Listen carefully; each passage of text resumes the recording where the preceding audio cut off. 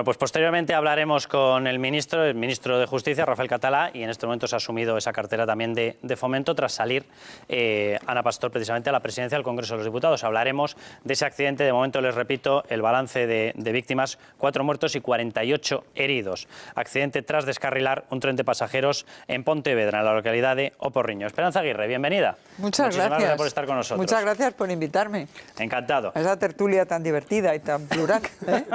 tan plural claro que sí, como nuestro sistema político. Vamos a ver qué es lo que está ocurriendo en estos momentos precisamente con el tema de gobernabilidad. Vamos a ver algunas de las declaraciones, doña Esperanza Aguirre. Felipe González ha vuelto a salir, lo vamos a ver en unos momentos, y ha dicho que si vamos a nuevas elecciones, terceras elecciones, todos los candidatos, todos los cabeza de lista tendrían que desaparecer y tendríamos que ir precisamente a unas nuevas elecciones, pero sin ninguno de ellos.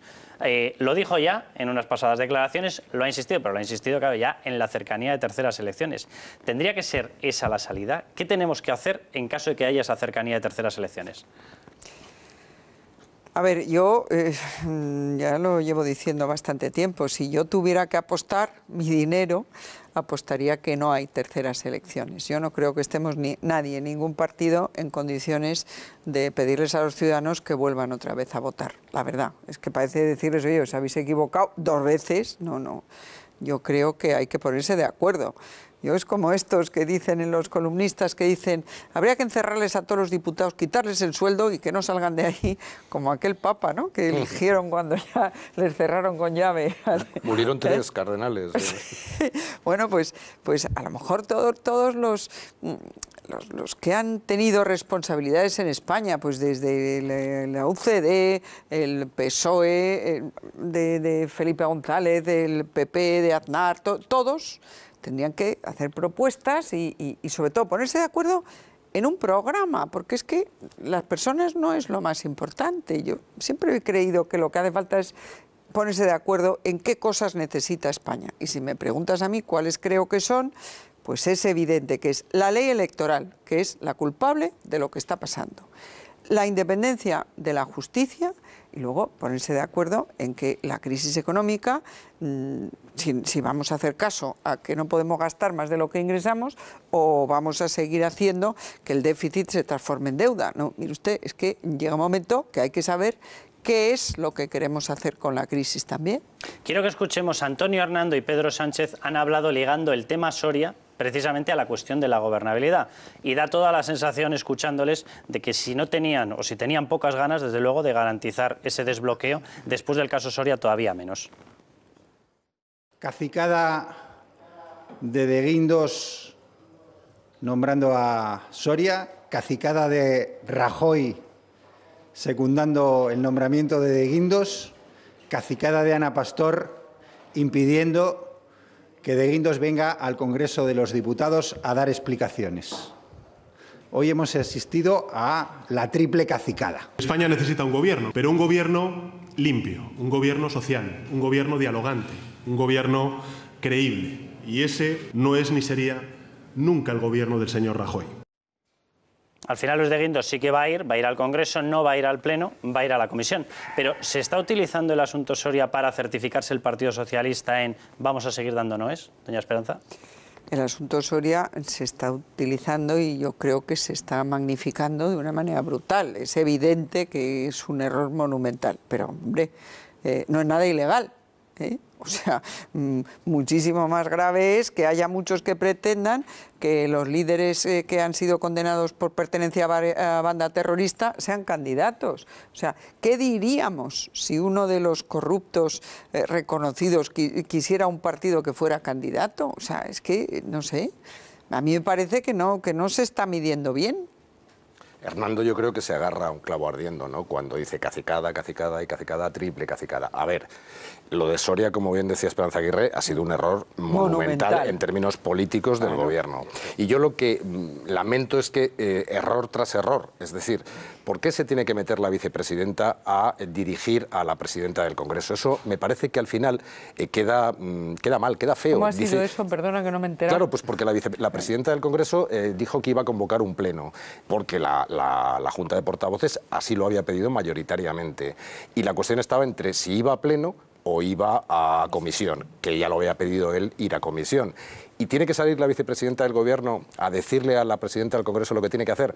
Eso lo que revela es el resorte de que cuando se ha tenido siempre mayoría absoluta, eh, bueno, pues se tomaban las decisiones desde el Consejo de Ministros y se daba traslado al Congreso. Siempre no. No, no, siempre, no siempre. Una legislatura. No, siempre. Pero el caso es que em, queda feo. Y yo creo que se podían haber ahorrado el volver a quedar feo en un asunto que, que estaba feo y que cuanto antes se despache, y además Guindos quiere hacerlo, pues mejor para el Partido Popular y mejor eh, para el Gobierno y no dar, eh, no dar pie a que Hernando diga estas cosas. En cualquier caso las diría porque se tiene que agarrar a lo que sea para justificar el no, si lo que quieren es información y comparecencia de Guindos, va a comparecer Guindos. Pero yo va lo a comparecer. ¿Por qué la quieren en pleno? Pues bueno, para, para escarnio, para, sacrificar, para sacrificarlo. es, muy distinta la información que vamos a obtener los ciudadanos. Es la misma. Que lo que ocurre en el Parlamento, es la misma. es lo que, ocurre en el Parlamento es para nosotros, no es para pero ellos. Si siempre lo hemos es muy dicho, distinta en comisión que en pleno. La democracia es una cuestión de cumplimiento escrupuloso de las leyes y las formas. Y en, democracia son muy importantes las formas,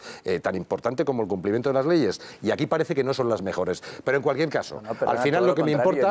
Espera, espera, José Luis, que Vamos a esperar a que hable el Constitucional y entonces sabremos si se respetan las normas. Porque el Constitucional lleva... igual cómo comparece. El, Constitucional lleva la hora retrasada porque podía haberse pronunciado es otro problema. Mira, en cualquier caso, a mí lo que me importa al final es que Guindos se explique en el Congreso y diga lo que tenga que decir para arrojar luz sobre el asunto. Recuerdo que tenéis a Esperanza Aguirre, claro, pero tengo Esperanza Aguirre esto sea una entrevista y le quiero preguntar en un diálogo entre eh, porque se ha escapado con lo que ha dicho Felipe González eh, y yo anticipo que estoy muy de acuerdo con el señor González. Hombre, es verdad que le hace pagar el mismo precio a Rajoy y a Sánchez. Bueno, en realidad él estaba pensando más en Sánchez que en Rajoy, eh, porque se lo quiere quitar de encima, pero se lo hace pagar también a Albert Rivera, que yo creo que, en fin, trabajar ha trabajado lo suyo para que hubiera un gobierno, y a Pablo Iglesias, que, hombre, no es que sea santo de mi devoción, pero no es el más desgastado de van Sánchez a desgastar ahora las novias y las exnovias, que eh, no son novias ni exnovias, son mujeres. Pero al final, efectivamente, pero al final eh, yo estoy de acuerdo con lo que ha dicho Felipe González. Eh, ¿Tú estás de acuerdo con lo que ha dicho Felipe González? Pues... Enmendar la plana a los ciudadanos, enmendar la plana a los ciudadanos por tercera vez es impresentable. Yo es que ya he empezado diciendo que no creo que haya terceras elecciones. No lo creo. ¿Pero por qué? Porque no lo puedo creer. Porque mm, no habrá más remedio que ponerse de acuerdo el PSOE, el PP y Ciudadanos. Y se tendrán que poner de acuerdo en un gobierno con un límite temporal y con un programa, pues porque yo creo mucho más en los programas que en las personas. Pero no lo quiere creer. Mm, creo que llegará un momento. ¿eh? Pero no lo quiere creer por el, por el desastre que supone o porque maneja información que le hace pensar que va a haber. No manejo ninguna información. Que va a haber acuerdos. Cero información. No manejo más que los 64 años que tengo, de los cuales 33 están en política. Y no, no me creo que vayamos a ir a unas terceras elecciones. Yo creo, yo creo que confío, eh, como confía eh, usted, en que no va a haber terceras, terceras elecciones. Quiero creer que no va a haber terceras elecciones porque en el fondo no hay grandes diferencias programáticas entre el PP y el PSOE, pero al mismo tiempo eso supone un acicate para dificultar el acuerdo, y me explico. Son tan parecidos últimamente, en los últimos años, eh, el programa económico político del PP y el programa económico político si del todos PSOE, somos socialdemócratas. que me da la sensación que es efectivamente, los dos son socialdemócratas. yo no, Los ¿eh? dos. Yo no. El, actual cúpula del PP y el, PSOE, por supuesto. Bien, partiendo de esa base, son tan parecidos que me da la sensación de que el PSOE se resiste a pactar con el PP para que al menos eh, quede en evidencia ante la opinión pública de que hay una diferencia. Sí, hay una diferencia. Las siglas. Uno tiene una gaviota y otro tiene una rosa. Uno es de color rojo y otro de color azul. Pero a lo que voy. Hay una diferencia. El odio al PP. Eso, en eso estoy totalmente de acuerdo. Esa Insisto. Es, esa es la razón por la que no quieren ni siquiera hablar de en qué cosas nos podemos poner de acuerdo, que yo es que no lo puedo entender. Yo tampoco lo entiendo. Y yo confío en que finalmente eh, pues reine el raciocinio y al finalmente el PSOE entre razón. Pero me da la sensación de que la estrategia de Pedro Sánchez, igual me equivoco, es, sí, sí, al final, después de las eh, vascas y gallegas, nos abstendremos, pero a cambio pedirán la cabeza de, Mariano Rajoy. Y mi pregunta es, en caso de que se plantee ese escenario, ¿usted cree que Mariano Rajoy debería dar un paso atrás para favorecer la gobernabilidad de España? Pero a ver, es que estás poniendo muchos futuribles que yo desconozco. Yo creo que la cabeza de Rajoy, pues bueno, mucho antes habría que dar la de Sánchez que ha, llevado su partido a, los peores resultados de la historia una vez y todavía peores ahora. O sea, Es que mm, yo, la verdad, creo que lo importante no son las personas, lo importante es el programa. Y en ese programa estoy convencida de que de aquí al 26 de octubre es, ¿no? Cuando cuando se convocarían elecciones si no... Cuando finalizaría. hay 100 cosas en las que hay está que de acuerdo. encerrarles en un cuarto, ya como los del cónclave. Hay 100 cosas en las que está de acuerdo el PP con el PSOE. Amando. Pero vamos, pero que están en el pacto. todas socialdemócratas. Sí. Amando. Pero hay una estupenda, que además lo dijo Felipe González, que es que no quede impune el enriquecimiento ilícito, injustificado de, eh, de, políticos, que no está en el Código Penal. Y ese, en ese sí está. El acuerdo que hicieron con Ciudadanos, el enriquecimiento injustificado se tipifica en el Código. Amando. Pues por una vez estoy de acuerdo con Felipe González, por una razón, porque desde hace cerca de un año encargamos a esos 350 diputados con sus jefes respectivos para que formaran gobierno. Como no lo han sabido hacer, se tienen que ir a su casa, los líderes al menos. Se tienen que ir a su casa, lo siento. No han cumplido su misión. Han estado cobrando el sueldo durante un año y no han cumplido su misión. Eso en cualquier empresa, pues te mandan a la calle. A ver si con los segundos o con los terceros se, puede lograr. Y no vale decir, el mío sí ha cumplido y el otro no ha cumplido. No, no. No ha cumplido ninguno de los cuatro. Por lo tanto, tienen que irse a su casa. Ahora bien, no estoy de acuerdo con Felipe González si implica que la salida de la política significa hacer, hacerse multimillonario como él, porque eso es un enriquecimiento injusto. No, sí, perdona, sí, sí, sí, perdona, sí. No, desde luego no es, política... no es al que yo me refería. No, no, pues yo me, refiero, refiero a, a, los que se enriquecen durante el ejercicio, el ejercicio no, no, de su cargo político. El que como los presidentes norteamericanos, como Clinton, como vayan porque les piden dar conferencias y les pagan un dineral, pero a, a todos pues los a mí me presidentes parece- americanos, ex primer ministros injusto- británicos, no, eso no es lo mismo. No, a mí me parece injusto que se aproveche la carrera política para hacerse multimillonarios. Pues- Hay muchos ejemplos en la vida pues española. yo- Por favor, que se acabe eso de Yo una no vez. estoy de acuerdo con eso, Amando. Vamos a ver. vez, ¿eh? En este momento los políticos estamos estigmatizados, tan estigmatizados que la gente cuando deja la política es que no tiene dónde ir. Yo lo dejé en el año 12 y tuve una oferta con, de una empresa catalana, pues eso, hace ahora cuatro años. De entonces a ahora es dificilísimo que un político pueda incluso volver a donde estaba. Pero un momento. No, no, es que yo, perdona, Amando, pero no perdona que. de- a- a déjame un, un segundito. Como No, he sacado no. yo el tema, el enriquecimiento injustificado, me refiero de la gente que llega a un cargo con un patrimonio y cuando se va, resulta que tiene pues muchísimo más de lo que tenía y ha ganado un sueldo como lo hemos ganado todos durante X años. Eso no, no es que no es normal y eso tiene que ser un delito. El enriquecimiento de quienes salen de la política y resulta que les, les mm, pagan conferencias eh, carísimas, escriben un artículo, eh, a mí eso no me parece mal. No, yo no, yo A mí no me parece nada. no me es que me parece eso. muy bien. Eso es lo que hacen en Inglaterra y en los Estados Es Unidos, que son las democracias más avanzadas. Lo que es intolerable, a mi juicio, es que la gente utilice el cargo para enriquecerse él o para hacer enriquecer a los demás. Bueno, eso la- es lo que no puede ser. La segunda, la perdón, vida la segunda cuestión que planteaba Esperanza, lo de las terceras elecciones. Bueno, yo no solo creo que va a haber unas terceras elecciones, sino unas cuartas elecciones. ¿Por ¿Y qué? por qué no quintas? Porque elección tras elección no cambia sustancialmente la cosa porque se odian. Es decir, esos cuatro, esos cuatro se odian entre ellos. Y el odio, en Inglaterra no se odian. Pero es que no se odian, Aquí y- el odio es, es, es relativamente Sí, no, no, no, moderno. es el odio ha venido odio. desde Zapatero y está en el Partido siento, Socialista. pero es así. Antes no, no pasaba eso, de verdad. Antes no. Bueno, ya. Voy a, antes no voy a daros noticias. Voy a daros noticias de cuestiones que han ocurrido hoy o días eh, muy cercanos, ayer, antes de ayer. Izquierda Unida hoy mismo ha pedido al Parlamento de Andalucía que nombre a José Manuel Soria persona non grata. Fíjate tú. Hay que recordar que José Manuel Soria en estos momentos no está en ninguna causa de ilícito. Luego vamos a dar algunos ejemplos de Izquierda Unida, de gente suya o del propio partido, que directamente fue embargado, cuatro sedes le embargaron por no pagar las cotizaciones a la seguridad social No, y, uno- las retenciones de IRPF y uno de sus que roba, otro que pega, otro. Bueno, No, en fin. puedo- puedo Efectivamente. precisar lo de- lo de y mientras, lo digo grata. por esta historia del odio, mientras ocurría, por ejemplo, en el Congreso de los Diputados que se comunicaba que el Supremo investigaba a una diputada del Partido Socialista por prevaricación. Ella ha dimitido, pero pero no se ha montado absolutamente nada de escándalo. Si no sabemos ni cómo se llama, ni por qué le acusan, ni nada. Si en esta emisora no lo decimos. Y la pues acusación era por prevaricación. Puedo precisar, perdón, lo de persona Muy rápido, que le quiero dar la palabra. La persona non grata es una figura del derecho internacional. Se está abusando de personas non grata. Es como si a mí el vecino de arriba me molesta y lo declaro persona non grata. No, señor, eso solo puede declarar un Estado respecto a una persona que altera el derecho internacional. Yo he declarado a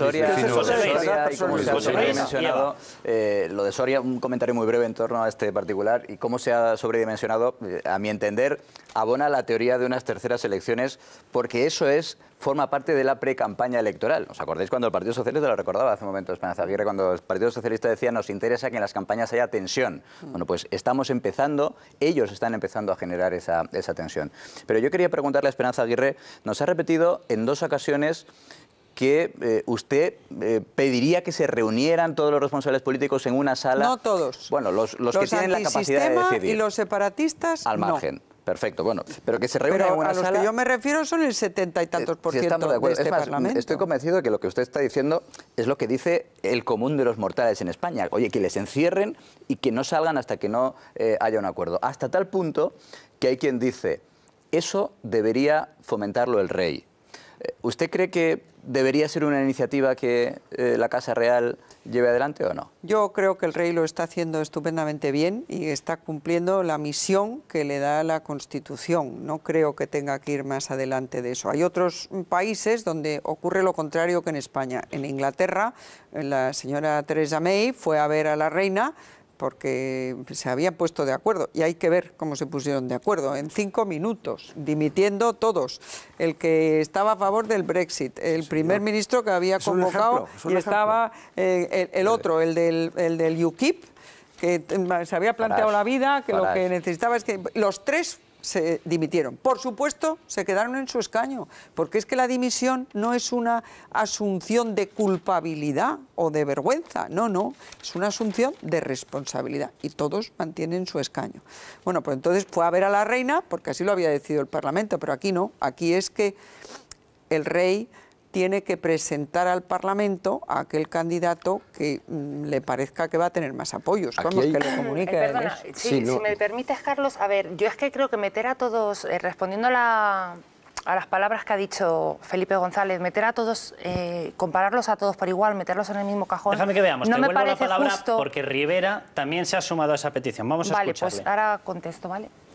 Yo creo sinceramente que el PP y el PSOE están jugando a cansar a la gente. En vez de dividir a la sociedad española en bandos, en vez de poner la silla por delante del país, yo le pido al señor Rajoy y al señor Sánchez que piensen en los españoles, que piensen en el futuro de este país, que no nos hagan chantaje con unas terceras elecciones. No vale chantajear al pueblo español. No vale decirle a los españoles, vuelva a votar hasta que me salga el resultado que a mí me gusta. Pues no, mire, a quien no le guste o no sepa negociar, pactar o dialogar, que se marche.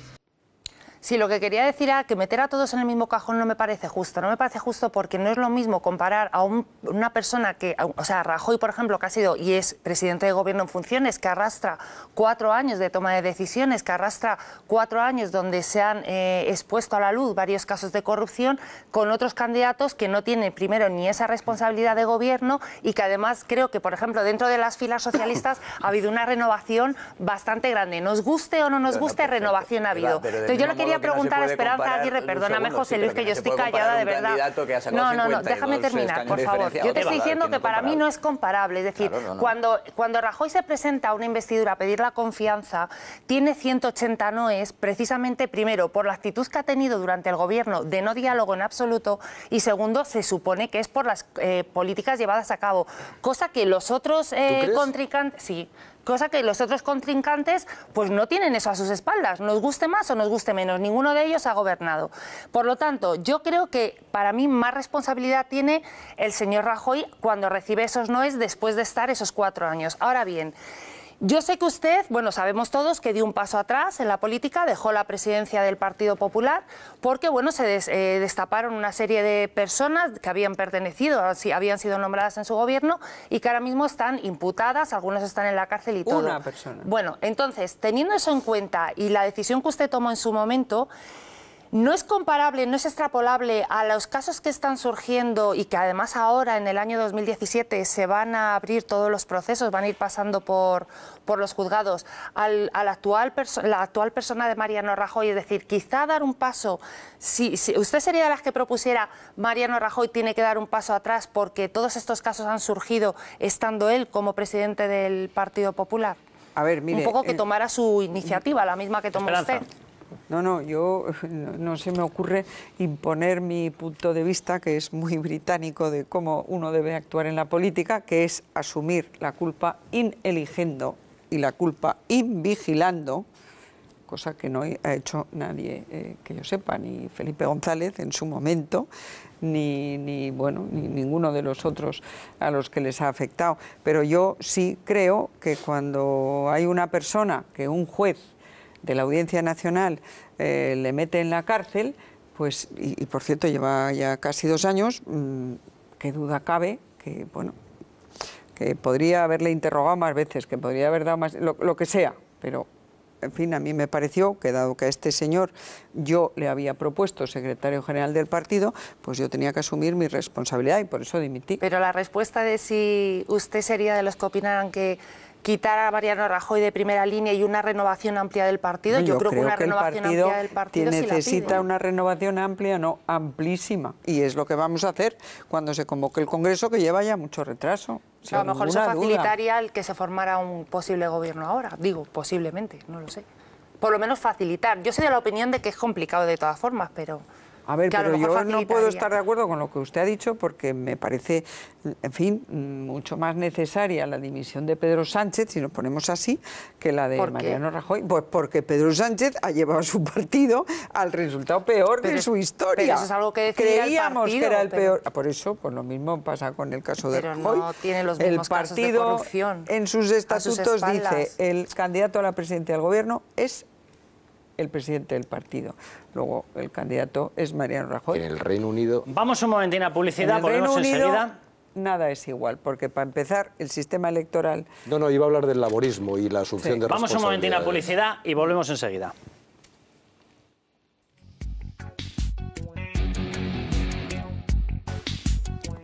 Seguro que cuando le han puesto la última multa, usted se ha dicho, tengo que llamar a publi.com y pedir un Angel Driver. Bueno, pues ¿a qué espera? ¿A que le pongan la siguiente y quedarse sin puntos? Usted puede evitarlo llamando a publi.com 902-182-192 y pidiendo el F10 de Angel Driver, el mejor avisador de radares del mundo para saber con exactitud dónde están todos los radares en España y Portugal, los fotos rojos, los de tramo de velocidad controlada y se lo avisa así.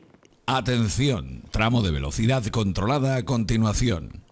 Su precio, 205 euros, pero ponemos 50 unidades a solo 99,99 euros, con regalo, atención, del KF, que convierte su móvil en un potente ventilador. Pídalo ahora mismo. 902, 182, 192 o publi.com. Entrega en 24 horas.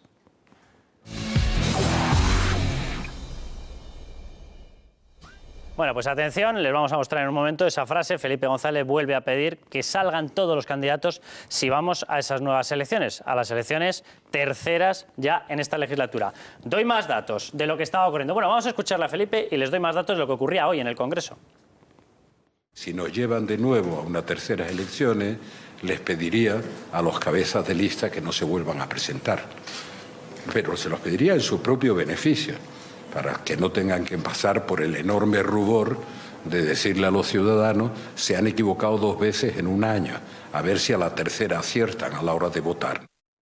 Y esa frase incluiría, lógicamente, al que estábamos viendo, al secretario general y candidato del Partido Socialista, Pedro Sánchez. Os doy más datos. Lo que ocurría hoy, precisamente con gente del Partido Socialista en el Congreso. El Supremo investigará a una diputada del Partido Socialista por prevaricación. Ella ha dimitido, pero bueno, eh, en el caso de Soria no tenía ni que dimitir porque ni tan siquiera estaba nombrado, pero ya ha comunicado la renuncia no era delito, no era prevaricación. En este caso, ¿quién es la persona? Exalcaldesa de Santoña, en Cantabria, María del Puerto Gallego, Arriola, por un presunto delito continuado de prevaricación administrativa Durante su actuación como alcaldesa entre los años 2003 y 2009. En concreto, por no haber celebrado concursos, concursos de cuantía elevada, bueno, pues en vez de hacerlos por concurso, los adjudicaban a dedo. Eso ocurría hoy mismo. Les doy más casos. Esta noticia es de ayer. La Junta usó cargos fantasma para colocar a hijos de, alcaldes del Partido Socialista. Eh, tres cargos en concreto, responsabilidad, según se está investigando, de una persona, una persona del Partido Socialista, se creaban cargos fantasma dentro de tres consejerías. Consejería de Educación, Cultura y Deporte. Ahí se creaban cargos y quiénes eran los receptores de los cargos, hijos de alcaldes. Bueno, de ninguno de ellos ha habido un escándalo como el que se está montando por la solicitud de plaza de José Manuel Soria. pero Carlos, es que el problema de, no es el tema de la solicitud de plaza, el problema es que ya Soria metió mucho la pata cuando estuvo enredándose tanto en las explicaciones que daba, que yo no sé si mentiría o no mentiría, pero a todos nos pareció que nos mentía un día tras otro. Vamos a ver, Eva. A ver, y luego tenemos a, todo el equipo de... Momento, es que no me dejas terminar. y luego me ha tenemos... el director, me ha mirado el director, pues, déjame que termine y luego me contesta. Y luego tenemos también, o sea, yo lo he dicho ya varias veces estando eh, eh, en, en los programas, o sea, el foco no es si Soria se merecía o no se merecía ese puesto, posiblemente se lo mereciera. El problema ha sido las formas y la mentira. porque es que luego nos han querido vender tu también. sentido de la autocrítica, Eva? dejarme terminar. Bueno, pero es que, es que está muy bien lo de criticar a Soria. Yo en este caso, pero si soy de la opinión también que donde hay corrupción hay que atajarla con Contundencia. ¿Pedirías, ¿pedirías la dimisión de la diputada socialista que está siendo si investigada? No, es que no. Pero si ha dimitido. Es que no es comparable. Pero, ¿por qué estamos comparando cosas que, no tienen nada que ver? Estás hablando de un equipo de gobierno que nos ha ¿eh? mentido, José Luis. Ese es el problema. Pero quiero preguntárselo a Esperanza Aguirre. Ahora te doy la palabra, José Luis, pero eh, ¿por qué ocurren estas cosas? Es decir, el caso de José Manuel Soria está ocupando en estos momentos todos los informativos, todas las portadas, estos casos que yo los acabo de citar. Lógicamente el del Supremo en estos momentos está con más protagonismo en las portadas, pero el caso, por ejemplo, de la creación de puestos fantasma, puestos inventados, puestos en una comunidad autónoma deficitaria, como prácticamente eh, la mayoría, bueno, pues creados para hijos de los alcaldes y sin embargo no se piden estas mismas responsabilidades. Pues es una cosa que hay que preguntar a los responsables de las cadenas de televisión, no, no, a, mí. O sea, a mí me parece increíble. Yo lo he dicho, cuando has dado tú la noticia, he dicho, pero bueno, si no sabemos ni de qué se le acusa ni cómo se llama, tú lo has dicho, pero yo quisiera saber en cuántas emisoras se está diciendo eso ahora mismo. Pero ¿por qué eh, caemos en lo que para mí es un error descomunal de comparar casos que no son comparables? ¿Alguien me puede decir de qué delito se acusa a Soria, que por otra parte hizo extraordinariamente bien dimitiendo como ministro y ha hecho fenomenal, después de haber cometido su partido ese error eh, enorme de, proponerle, ha hecho muy bien renunciando. Pero ¿me puede decir alguien de qué delito se le acusa al señor Soria, que ha renunciado dos veces? No, no, ¿de qué delito? Todavía señor Soria lleva 30 años en política y no la han acusado. Cada vez que han acusado al señor Soria, ha demostrado que era absoluta y totalmente inocente, porque le han acusado varias veces. Claro. Y, en este eh. caso concreto de las offshore, de las cuentas en Panamá, es que no es ningún delito. no, es que no tenía cuentas en Panamá. No lo sabemos. Para empezar, no, tenía cuentas No, no, es delito. pero no es delito. Lo mires como lo mires, no es delito. Nadie, salvo que tú ahora lo digas, nadie en España, nadie nunca le ha acusado de ningún delito pero que hizo muy bien, a pesar de no haber cometido ningún delito, hizo muy bien renunciando, ¿eh? hizo muy bien dimitiendo, pero no podemos comparar ese caso con otro, el de esta responsable del Partido Socialista, a la que se le acusa de delitos muy graves. Por lo tanto, son incomparables, incomparables. Pero de todas formas yo creo... Eh, quiero repetir la pregunta que le hacía yo a doña Esperanza al inicio del programa. Teniendo en cuenta el Partido Socialista, eh, obviamente sabe que con la campaña que está lanzando con el tema Soria, tiene muy complicado empezar a justificar ahora a ese mismo partido, que yo lo considero inmensamente corrupto, yo le voy a dar en estos momentos la abstención. Pero a ver, ¿cómo puede considerar inmensamente corrupto a un partido por proponer a un señor que luego renuncia? Que además está perfectamente cualificado. No, no inmensamente corrupto, no. Ahora, le voy a decir, ahora le voy a decir, doña Esperanza, lo mismo que me ha dicho usted. Eso pregúnteselo a ellos, porque ellos le están diciendo. Bueno, no, yo no le... Pero que, dicen que el Partido Popular es inmensamente corrupto, por supuesto. Y eh, miren las cosas que dijo eh, Pedro Sánchez el día del debate de investidura, que es que prácticamente todo el Código Penal, y como les dijo muy bien Santiago González, no, mire usted, asesinato y secuestro no estaban ahí.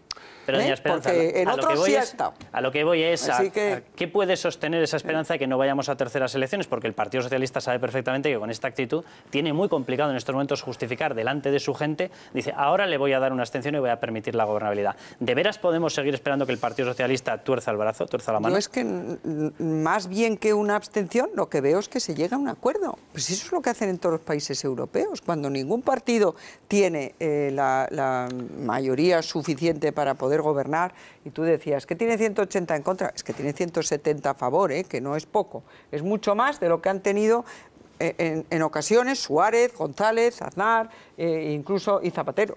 O sea que, mm, francamente, a mí lo que me parece es que se tienen que poner de acuerdo en lo que España necesita, que ya llevamos un año. Con ese, 180, con ese 180, 170 en Cataluña te declaran la independencia, vamos. Eh. Hombre, claro, hombre, claro. yo lo que quería decir es que al final eh, somos un país imposible, porque eh, hablamos de Soria, hablamos de la diputada socialista, y, y, y yo me, me, desespero porque no somos un país capaz de, cuando se miente, cuando se comete un delito, que no es el caso de Soria, no ha cometido delitos, ni, ni, está en la agenda judicial el que le vayan a procesar. Pero me da igual, cuando se miente, cuando se hacen cosas que mm, son impresentables políticamente, a mí me gustaría ser inglés a mí también. Porque la pero, gente allí. Pero, no, pero, además es que no hay un debate como el que estamos teniendo aquí de tiene que dimitir o no tiene que dimitir, ha mentido o no ha mentido. No, no, es que está interiorizado, vamos, es que lo llevan en el ADN que se dimite. Se dimite por cosas muchísimo más pequeñas de las muchas que han pasado me aquí. Me permites que te diga una cosa, pero no somos un país tan raro. O sea, en Francia, Sarkozy, que se va a presentar a la presidencia de la República, está imputado. La señora presidenta esta de no me acuerdo qué institución financiera importante, no sí, sé si del Fondo Monetario, también está imputada.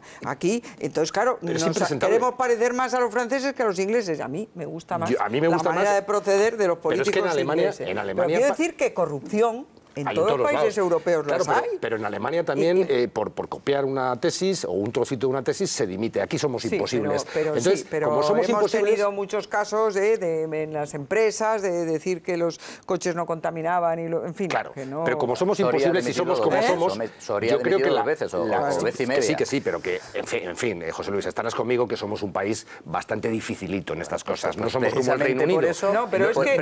Reino Unido es la excepción. los demás países son como nosotros o peor. Pero como sí. somos como somos, tenemos que hacer alguna propuesta. Y yo, por ejemplo, muy breve, eh, ¿se puede desbloquear la situación para que no tengamos que ir a la vergüenza de unas terceras, pactando entre los tres grandes una reforma express de la Constitución? Para cambiar el sistema de, eh, de la investidura. Hay muchísimas fórmulas, como se hace, eh, por ejemplo, en la Cámara Vasca, o como se hace en la Cámara Asturiana, o como se elige incluso la, eh, la mesa del Congreso de los Diputados, y eso evitaría toda la situación de bloqueo. Pero lo que no podemos es quedarnos quietos, porque si nos quedamos quietos, que- terceras, cuartas, quintas, Hay quien dice que no hace falta cambiar la Constitución. El catedrático de, de político Jorge Esteban decía el otro día que no hay que cambiar la Constitución, que es suficiente con cambiar el reglamento del Congreso y en vez de poner que la votación sea nominal y, y, en fin, que, que- que sea una Sea votación secreta. Y o por más eso- fácil. Si no, nos, Claro. si no nos ponemos de acuerdo en, en quién va a ser, o no se ponen de acuerdo en quién va a ser el presidente del gobierno, como para ponerse de acuerdo en una reforma constitucional. Yo creo que habría ese Pero si en melón. el pero sí, 135 Yo, estoy contigo. Abrir el melón ese es disparatado. Yo creo que es yo que propugno una reforma electoral, creo que puede hacerse sin tocar la Constitución. Esto Armando lo sabrá. Nuestra Constitución habla de que la circunscripción es la provincia y que el sistema es proporcional. Pues con esas dos cosas, yo creo que nuestro sistema electoral se puede mejorar muchísimo con la idea de que los votantes sepan a quién están votando y qué es lo que piensa el que vota, que el que vota no es un solo empleado, como dicen algunos, otro día decía Nacho Camuñas, que los diputados son empleados de las cúpulas de los partidos, que no son eh, gentes que estén al servicio de, de los votantes, como pasa en Y- y Inglaterra. Estoy, estoy, estoy totalmente de acuerdo con ese planteamiento. Yo creo que eh, no hace falta cambiar la Constitución para hacer una modificación de la, de la ley electoral. Eh, yo creo que abrir el melón de la Constitución es muy, muy complicado y muy peligroso. Pero quitando eso, me gustaría volver a un momento al tema de la corrupción. Vamos a ver. eh, yo de lo que estoy harto es de que los, grandes partidos echan eh, el uno al otro la culpa del tema de la corrupción. No es que tú tienes corrupción, no es que, es que eh, deberías dimitir. Oiga, es que el PSOE no tiene ninguna autoridad moral para denunciar la corrupción del PP y exigir dimisiones, porque para empezar, el propio Partido Socialista está inmerso en varios escándalos de corrupción de, un calibre graves. absolutamente histórico. Y ha aquí ha costado, ha costado muchísimo exigir dimisiones. Cuidado, ha, costado muchísimo exigir dimisiones. Escuchamos antes las palabras de Hernando llamando cacicada la elección de Soria. Y yo digo. ¿y qué fue la elección de Viviana Aido?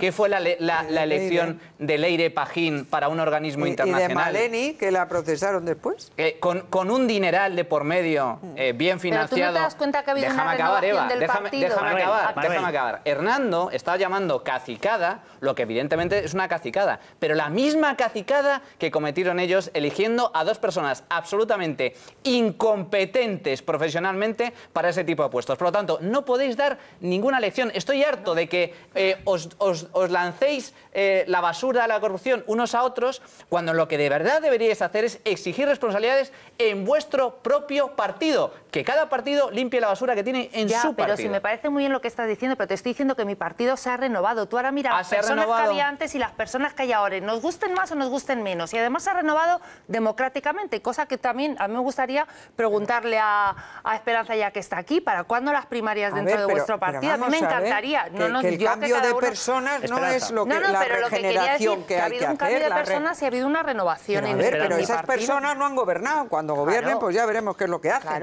Lo, lo importante no es eso. Lo importante de verdad es detectar cuáles son las causas de la corrupción. ¿Cuáles son? La falta de transparencia y la opacidad en los concursos públicos y el haber suprimido las subastas, que para mí las subastas son lo más eh, eh, mm, Clarito, lo eh, más limpio. eficiente, lo más limpio, lo que más... porque cuando empiezan a decir Ahora en el Ayuntamiento de Madrid, mis queridos compañeros del grupo de Podemos dicen que qué vergüenza es esta de que el precio cuente en una oferta. Lo que tiene que contar no es el precio, cuántas mujeres emplean, eh, qué hacen para de labores sociales, o sea, para dárselo. Para decidir ellos en función de sus gustos o de sus apetencias. Y cuando en realidad lo único objetivo ¿Es el precio? No, no es cierto eso. Vamos, que no es objetivo el precio. Sí, pero que hay otras cosas que también se pueden sí, los, acuerdos, de nivel de servicio. Desde luego, todos esos dos factores que cita Podemos, esos no son objetivos. porque entonces cambiamos la ley de contratos del Estado y decimos, podrán concursar todas aquellas eh, empresas que sean progres. Claro. No, pero vamos a ver, es que lo que está... Que, que sean, es que, bueno, ahora ha salido este tema. son yo ¿eh? entiendo que el tema del dinero es objetivo, pero es verdad que ahora se ha llegado a un punto en el que todas las adjudicaciones se hacen simplemente teniendo en cuenta el tema económico es al revés, se están tirando a la baja y al final está habiendo una degradación en, el trabajo y en los servicios absoluta. Eva, te estoy diciendo precio y acuerdos de nivel de servicio, que es como se hace en Hemos las empresas. Hemos preparado un vídeo con uno de los servicios más polémicos. Entró, de hecho, ahora a Madrid, Manuela Carmena, hablando de que no se le podían conceder a las grandes corporaciones el servicio de limpieza de Madrid. Ha acabado replicando el mismo modelo por el mismo precio con las mismas empresas. Eso sí, con un pequeño resultado, este. Las quejas por la suciedad en Madrid superan su récord, 318 avisos al día. Suelo venir mucho a Madrid y ahora la estoy encontrando muy sucia. ¿eh? Una vergüenza. Madrid está cada vez más sucio. Los turistas en las terrazas tienen que convivir con la basura. Eh, pues claro, la trata pues abunda y entonces nos tenemos que ir las personas para que las ratas se queden. Alarma por el estado de las calzadas. Que los pasos de peatones se van a convertir en un lugar peligroso. Estamos en una de las zonas más céntricas de Madrid y así nos hemos encontrado la calle. El olor es insoportable. ¿Por qué la capital está tan sucia? Porque la causa es tan evidente que para nosotros va a ser una satisfacción poder hablar de ella. Los trabajadores de limpieza responden, falta personal. Es el meter gente, se vea barenderos. Vosotros sabéis que este ayuntamiento está empeñado en conseguir el que Madrid al final sea una de las ciudades más limpias del mundo. En el resto de España, donde los ayuntamientos están gobernados por Podemos, la situación no es muy distinta. En Barcelona, su alcaldesa Ada Colau difunde su asistencia a la diada, pero los ciudadanos siguen pidiendo mejoras. Los vecinos del Raval piden más seguridad en sus calles. Ada Colau contra el sector de la hostelería. Y es que el Ayuntamiento de Barcelona ha retirado las terrazas de varios pórticos de boquería. Partido Popular, CIU y Ciudadanos exigen un pleno extraordinario tras la polémica. Una más a la que se le unen la moratoria hotelera o la defensa de la ocupación del banco expropiado. En Navarra dimiten 30 de los 33 mandos de la Policía Foral como rechazo a una ley que afectará a sus jornadas y salarios. En Cádiz continúan los retrasos en los pagos de alquileres sociales. En Valencia, Joan Ribó se resiste a bajar el IBI a más de mil pequeños comerciantes. Son los ayuntamientos del cambio, un cambio que hasta ahora solo ha ido a peor. Doña Esperanza, la gran acusación que hacían estos, ellos se denominaron así, los alcaldes del cambio, las políticas del cambio, era que ustedes estaban derrochando el dinero, que eh, todo lo que eran ustedes era simplemente una especie de dinámica casta en la cual seguían ahí instalados en los cargos, han llegado a ellos y algunos de los resultados son estos que estamos viendo. Bueno, yo creo, quizá es porque quiero consolarme a mí misma. Eh, yo fui la cabeza de lista que ganó las elecciones en Madrid y sin embargo no gobierno. Gobierna Podemos eh, con eh, Manuela Carmena a la cabeza. Y sin embargo yo creo que muchos españoles se han dado cuenta de qué es lo que significa Podemos y un gobierno de Podemos a través del Ayuntamiento de Madrid o el de Barcelona o el de Zaragoza, La Coruña o Cádiz, todos esos que Pedro Sánchez le ha regalado a Podemos. No sabemos todavía por qué, pero se los ha regalado. ¿eh? Amando. Me gustaría volver a una cuestión que ha planteado antes doña Esperanza, que es, que es, que es el atasco este, de si hacemos unas elecciones o que se pongan de acuerdo o cambiamos la ley electoral, es, es es todo tan inmediato que va a ser muy difícil. No, que se pongan de acuerdo en un programa que incluya el cambio de ley Pero es que no se, no, no se, van a poner de acuerdo porque los líderes se odian, repito. Yo propongo... No se odian. Sí, se odian. Los del PSOE nos odian a nosotros. Yo no odio a los se odia. Es, es, es, es, que se nota. Si es que cuando los vemos en la televisión, sus gestos, el, el, es algo evidente, vamos. No, la, hay una solución más sencilla, que es en las votaciones Mm, sustanciosas, como por ejemplo la de investidura, que los diputados votaran en conciencia. Simplemente. ¿Eso voto secreto? Bueno, que voten en conciencia, que no tengan esa cosa que dice, yo tengo 37 votos, yo tengo 100... Oiga, ¿cómo tiene usted 37 votos? Usted sabe que los, los suyos van a votar siempre lo que usted diga. Es que, no puede ser eso. Es que además, no, no, eso es inmoral. es que eso es inconstitucional. El Tribunal Constitucional, en el caso Alonso Puerta, que fue el primer caso de corrupción del Partido Socialista, el de los 100 años de honradez, llega Alonso Puerta, llegan por primera vez al poder y pagan por las contratas de limpieza. Alonso Puerta lo denuncia al alcalde, que era entonces Enrique Tierno, y sin embargo no le hacen ni caso. Le expulsan del partido y le quitan el escaño. El Tribunal Constitucional, como siempre, eh, cuando ya se había acabado la legislatura, falla que en España el mandato no es eh, imperativo, el mandato es representativo y por tanto eh, eh, el escaño no es del partido. Y sin embargo, ¿qué pasa? Que aquí el escaño es del partido. Es que aquí es que, es que no sabemos ni el nombre el, el mandato es imperativo en la realidad, eso va contra la Constitución. ¿Y por qué es imperativo? Porque hay, como ha dicho alguien, una cupulocracia. O sea, en el, no, no, no, se hacen las cosas de abajo arriba. No, no, que hay unas... porque ¿Oligarquía? No es el presidente o secretario general, es la cúpula esa que ocupa.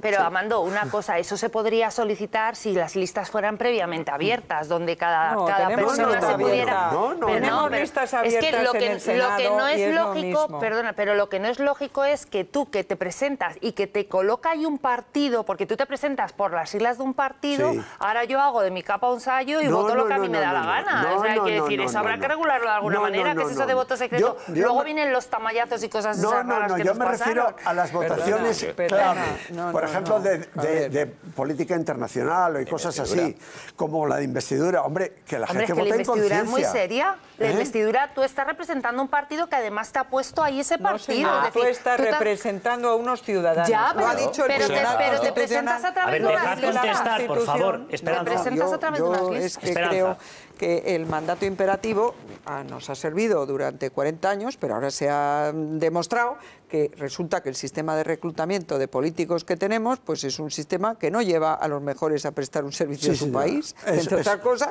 porque es. luego a la salida tampoco pueden hacer nada si es que quisiera venir alguno de los mejores, que no querrán venir a la política. Aquí lo importante es que vayamos a un sistema electoral en el cual los ciudadanos sepan a quién están votando. ¿Qué es lo que opina ese señor? Aquí los señores que están ahora en el Parlamento no pueden opinar nada.